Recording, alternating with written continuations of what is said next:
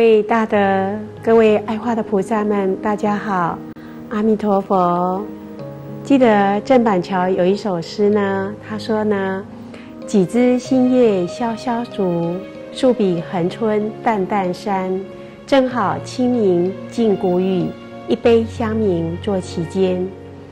那在这一首诗中呢，我们可以感受到郑板桥正在画画啊，然后那个竹叶。呃，他在画竹，在画山的感觉，啊，然后呢，他又泡了一个很好的茶，坐在旁边，陪伴在旁边。那我想呢，现代的人呢，生寿命都非常的长，我们现在的人都要活到一百多岁，所以我们要乐活，很快乐的生活，啊，要把生活过得很有品质。所以现在很多的。呃，各种的社区大学、社会大学，都鼓励年长者能够多多的去学习。那我们在社区大学呢，也会看到好多年长的呃长辈们在那边学画画，那学各种的才艺。啊，那我们在呃读到郑板桥的这首诗的时候，也看到现代的人呢，到了即使是呃白发苍苍的年龄，都还很快乐的在学习。啊，那既有这种画的意境呢，啊，今天呢，我选用一个这样的一个笔架，那各位爱画的菩萨可以欣赏一下，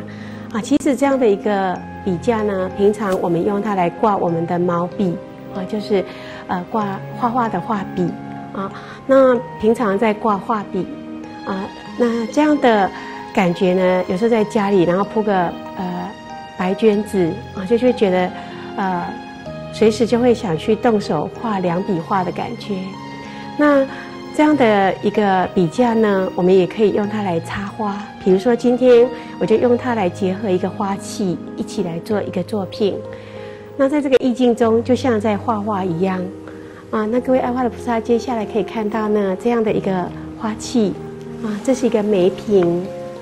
啊。那我们之前介绍过，梅瓶呢，它是。啊，上段比较宽的啊，然后再微微的有一个呃弯曲的一个曲度，啊，一个腰身的感觉到下段啊，那梅瓶的感觉很浑厚，很阳刚的一种美啊。那今天我借由这样梅瓶啊，跟这样的一个笔架，两个之间做的一个搭配啊，来插作一件这样的作品啊。那我们可以稍微的先欣赏一下这样的一个意境跟感觉。那在这样的一个作品中呢，我们可以插花，可以借有这样的一个空间的应用。那这一个笔架呢，它就像一个画框一样。好，好，那我们来试试看，我们今天怎么样来表现这个花艺的作品。好，好，我先呢选用今天我选用的这个花材呢，啊，各位爱花的菩萨可以也可以看到哈，这个是非常非常珍贵的啊，那。啊，也让很多人很喜欢的石榴花，啊，那我个人很爱石榴，啊，我的母亲也很爱石榴，啊，因为石榴象征多子多孙，啊，所以石榴呢，让很多人看了就会觉得很喜悦，啊，尤其是我会花，我们到年纪越大的时候，就会越感觉喜欢啊，这个多子多孙的一种象征的一个含义，啊，那各位爱花菩萨现在可以看到呢，我轻轻的把这个石榴啊，借这个。这个笔架，啊，这个整个呃笔架的感觉，轻轻的跨过去，就形成一个很美、好美、好美的画面，啊，好，那我们再继续的往下插啊，那我现在是有一点把它这样子跨过这个笔架插过去啊，那我们也可以在这样的一个里面的空间啊。不过不过今天这个石榴呢，它因为很重啊，所以有时候我们要怎么样善巧方便的去运用。如果说我今天这个石榴要插在这样的一个呃瓶子上呢，如果没有这个笔架来做它的呃支架的话呢，它是很难插的啊。那刚好有这样的一个笔架呢，刚好把它这样子跨上去。那石石榴呢，它那种灵动感啊，那靠着笔架的力量啊，那在这边啊很有姿态的意境呢，是很好的。那接下来呢，我再用一支这样的一个石榴啊，我再继续往里面插，啊，好，我再加一支这样的石榴啊，我们试一试看它的这个角度，啊，好，我们再加一支的石榴，哇，这个石榴再下加上去呢，啊，就感觉又有另外一种风情了，啊，那石榴呢，啊，我们刚刚介绍它啊，它是。很多人很喜欢的一种花材哈，所以在中国的婚嫁嫁娶的习俗里面呢，石榴呢也是呃必须要有的啊。比如说呃订婚的时候、结婚的时候啊，那女方都要呃随着呃女儿嫁到男方呢，要有这个石榴花一起带过来啊，象征的啊一个子孙的传承、一个生命的一个绵延的代表的意义。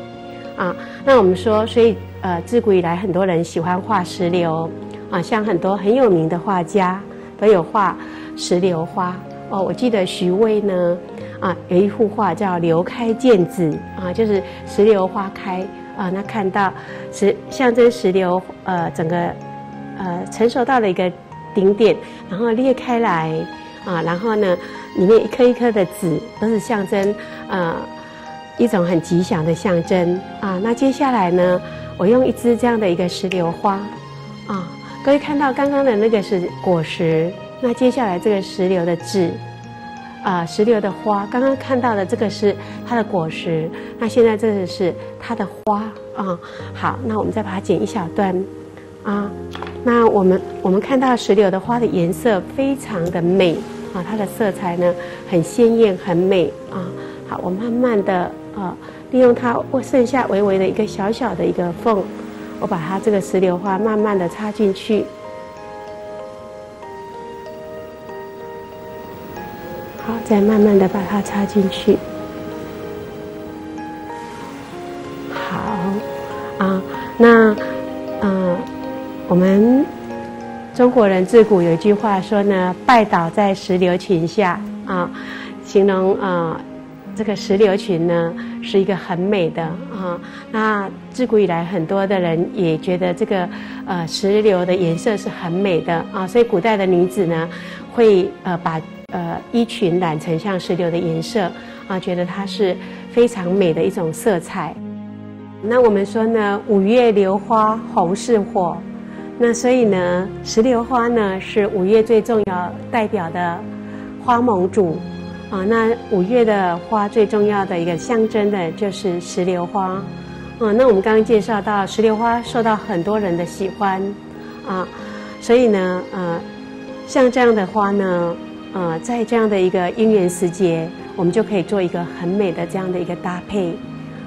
啊，那前些时间呢，我自己买了几个盆栽的石榴，很喜欢。啊，因为每次都觉得可以用它来插花，尤其是当这个石榴花开的时候。我们可以啊用买一个盆栽，然后剪它自然的石榴花，随时插一个小茶花，或放在书斋里都觉得很美。那前些时间呢，我的花园里面呢，因为我们的那个整理花园的工人不小心把我的一些花给弄坏了，他们觉得很抱歉，不知道怎么样来跟我说。结果我刚好石榴很想种在土地上。啊，然后我就说，他就说不知道怎么样来跟我说道歉。我就说那这样好了，你就把我的石榴花种在土里，让它可以长得很茂盛。因为我实在没有那样的体力，可以再把它自己把它种到那个土里面去。啊，虽然是有一点点赖皮，请人家做这样的一个帮忙啊，不过也是因为我真的很喜欢这个石榴，那希望种下去的这个石榴能够开得很好，在日后的很多的姻缘呢，都能够供养大众。那您可以可以呢尝试的做这样的一个作品，啊，那除了这样的做法之外呢，我们也来试试看，摆摆看，怎么样让这个作品呢，在我们的桌面上啊，除了这样的意境之外，那再加上一些其他的摆饰，那可以做我们整个空间或者一个展场的一个设计。尤其是当五月石榴花开得正美的时候，或者我们有个吉祥的象征含义的时候，也是很好的。那我们来试试看。好，那在这个啊非常美的这个石榴花中呢，啊，我们把它做了一个这样的一个布置跟设计啊。那有时候我我们刚刚介绍到，有时候我们要在展场做一个设计的时候啊，或者其实有时候像这样的作品在画展、书画展的时候呢，我们都可以把它运用在其间啊。那有时候我在书画展的会场会发觉，有些人会送一些很西洋式的花。或者很多很多的花，那感觉上好像比较不是那么的雅致，啊，那我觉得书画展的会场有时候我们就可以配上一一样一样这样的一个感觉，啊，那整个那个意境啊，还有整个跟画的结合的感觉就很好，啊，那除了这样子之外呢，比如说呢，有时候我们也可以加上一个像这样的一个石头，啊，然后呢，我们可以在上面呢，有时候如果你有因缘到，呃，花市去的时候。看到一些比较特殊的石头的时候，您可以把它自己买一些你喜欢的盆栽，那把它种在里面，那它就会形成一种这样，嗯，蛮美的一种感觉啊。那有时候我们如果种不好，它如果没有照顾得很好，它枯萎了，那我们可以重换啊。那这这个过程中呢，也可以学习很多新的植物的知识啊。那这样子有点那个太湖石的感觉啊。那在这个作品中呢，我再配上一个这样的一个杯，啊，一个杯盏，啊，好，一个这样的一个杯盏啊，把它啊搭配在里面啊，然后来把这样的一个意境跟空间的感觉啊，做一个很好的一个搭配。那我们刚刚介绍到，其实这样的一个展，这个空间的设计呢，啊，那结合花，结合桃，那也结合石头。啊，所以在我们日常现在的时呃时代呢，我们很多展场或者一个产业要推销的时候呢，我们都会有展场的一个布置。那像这样的布置呢，我觉得，嗯，您也可以不妨试试看啊啊，让整个空间呢，让人家进去就觉得很有艺术文化的气息啊，那也能够把我们传统的文化、传统的艺术融入在我们现代的产业。啊，让古今的东西交汇，啊，然后用古人的智慧，那善用现代人的头脑，啊，相得益彰。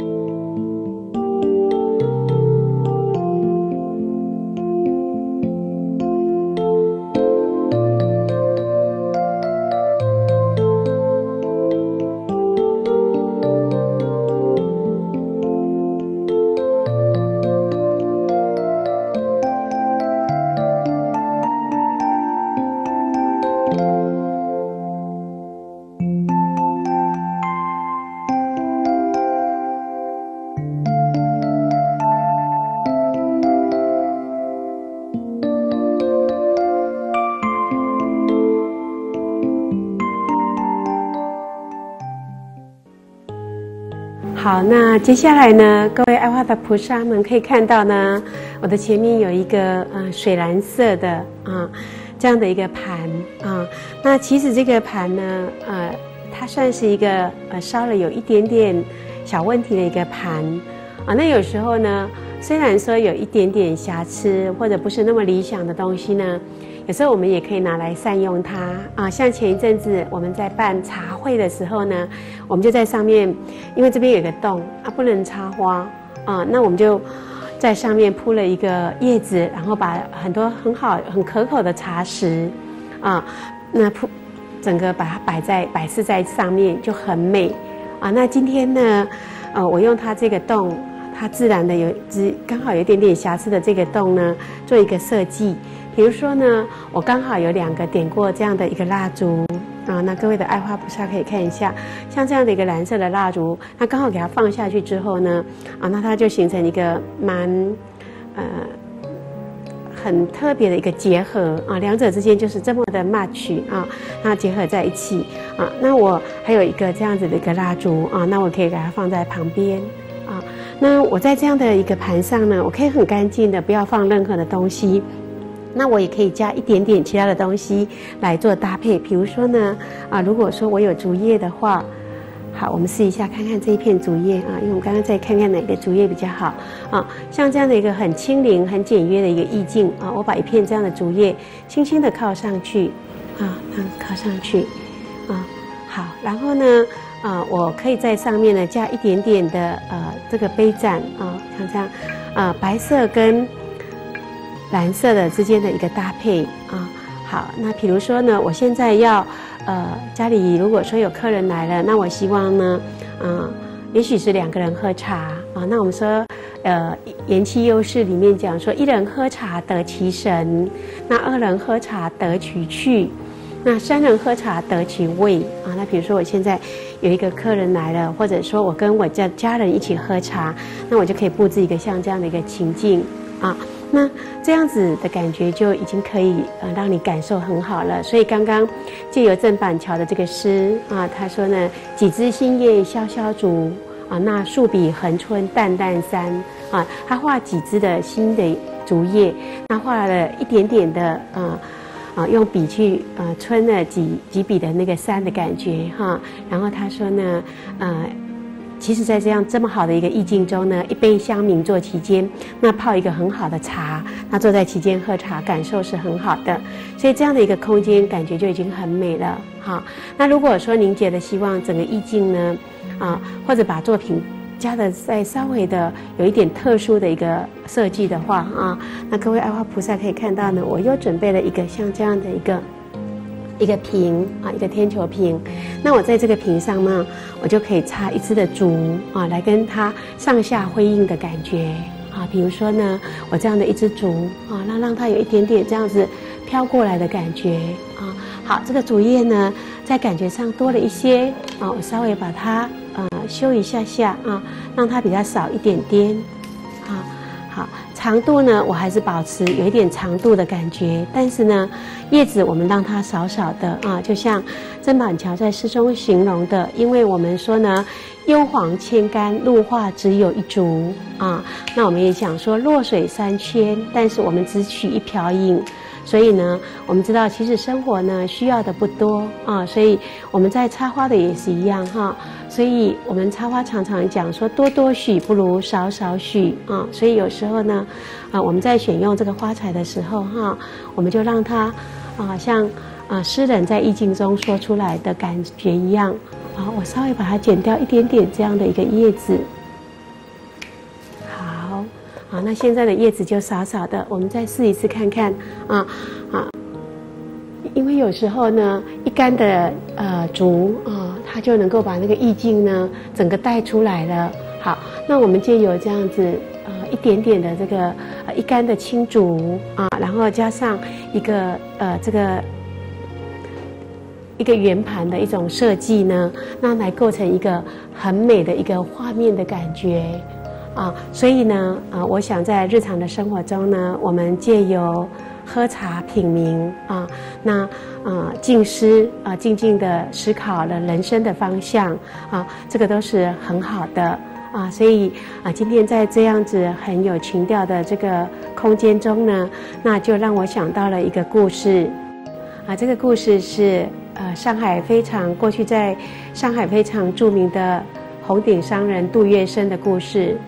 那杜月笙呢，在这个时代正反两面，各种评价都有。不过呢，杜月笙有一段故事也是令人很感动的。当杜月笙还是一个很年轻的孩子的时候，啊，当时他的父母亲因为在一次瘟疫中父母双亡，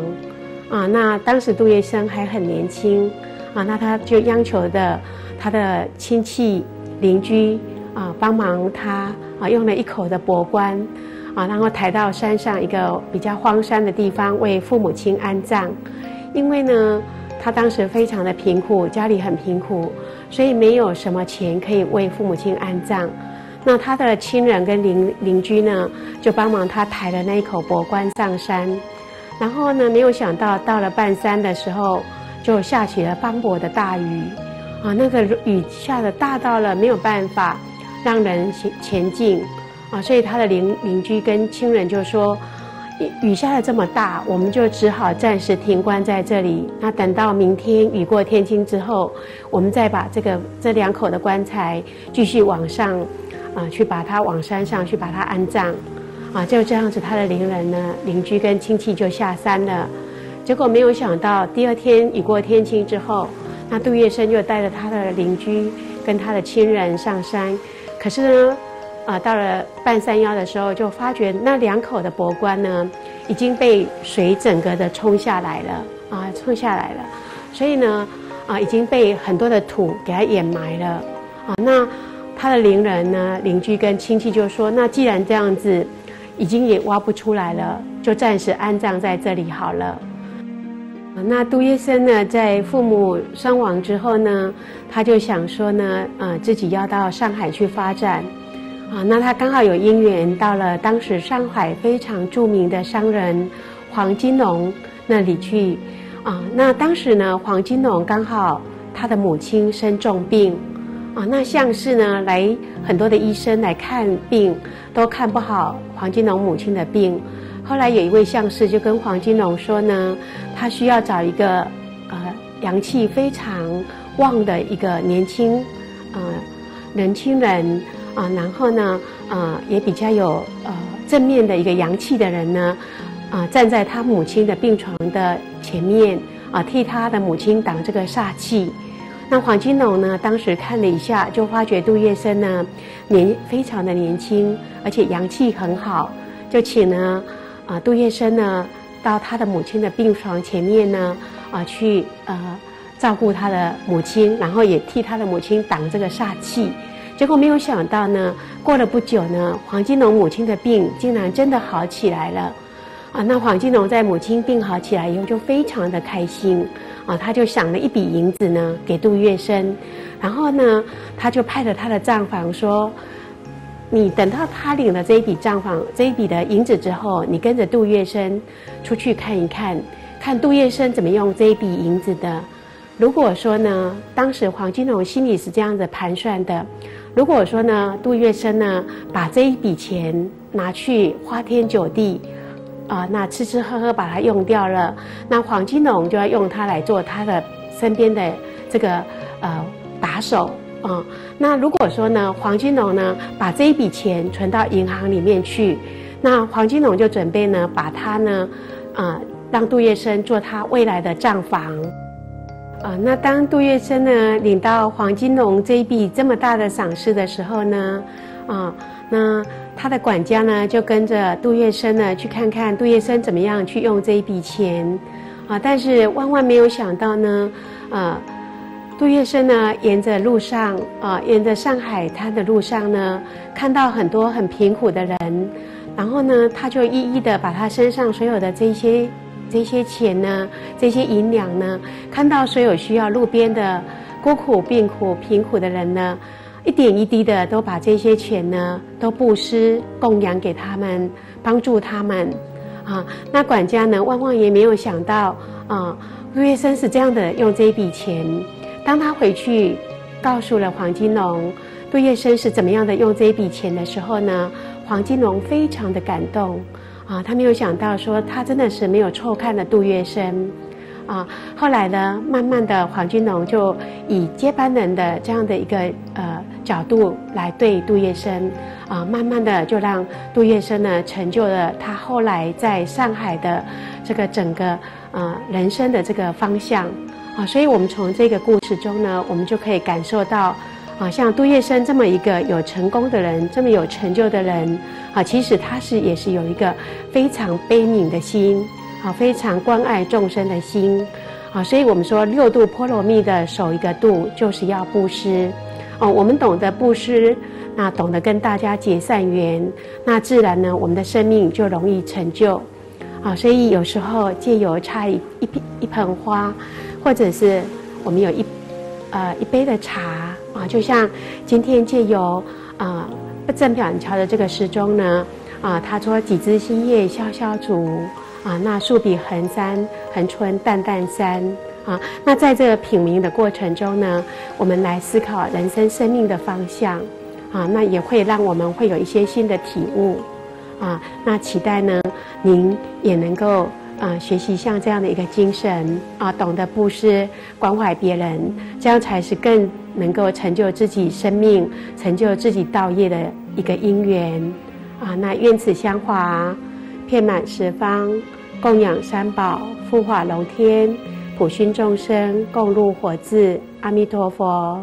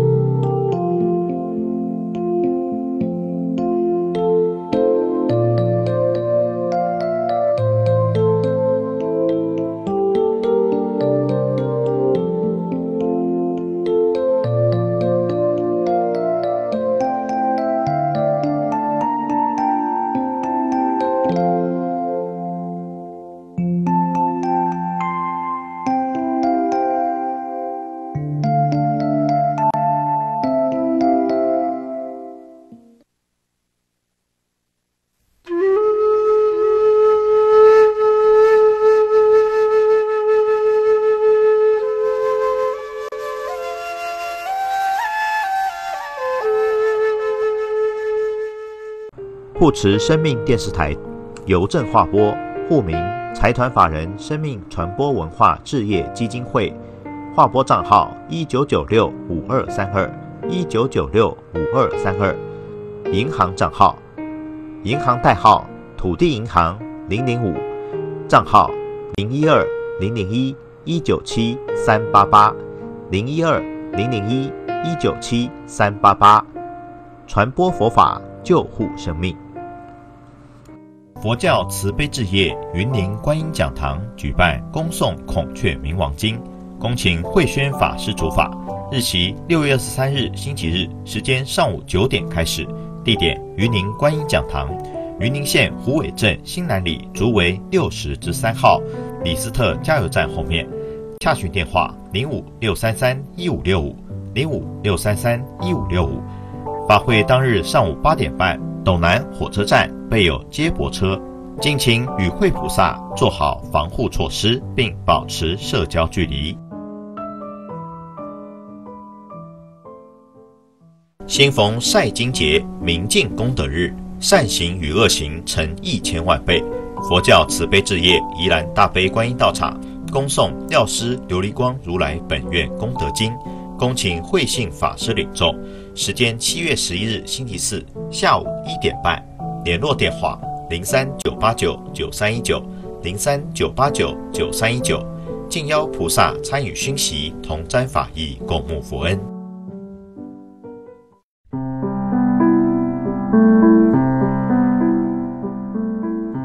要让慈悲变成一种习惯，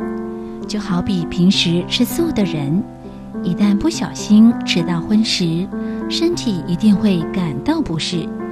同理，一个修慈悲心的人，如果内心存有恨意、不愉快等念头时，也很容易向内反省与自责，并使自己很快速的再度安住于慈悲之中。